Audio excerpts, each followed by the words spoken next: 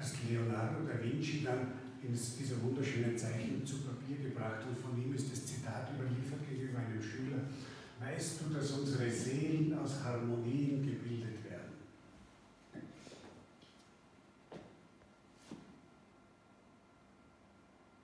Wie schaut das jetzt in der Wüste der Wirklichkeit aus?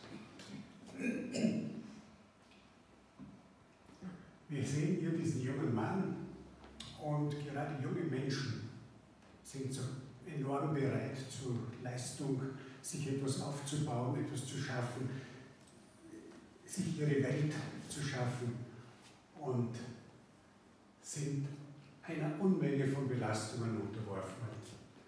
Hausbau und Familiengründung. Das muss finanziert werden, also hat man ein finanzielles Problem bei der Bank möglicherweise. Dann kommen die Kinder daher.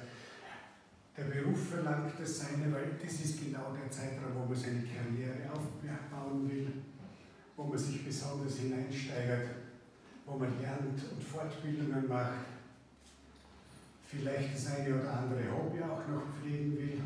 Und dann werden aber die Eltern älter und dann werden sie krank, dann muss man dort noch um die Pflege schauen und irgendwann ist man selber auch noch einmal krank.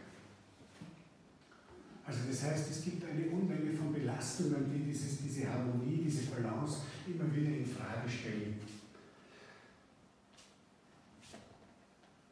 Sie alle kennen diesen Begriff Human Resources.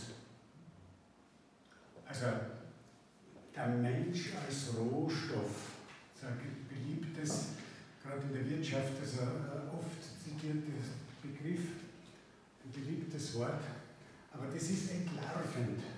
Das ist einer von diesen Human Resources. Von dem kann man alles verlangen und von dem den kann man so richtig ausplündern wie ein Rohstofflager, bis möglicherweise einmal nichts mehr geht.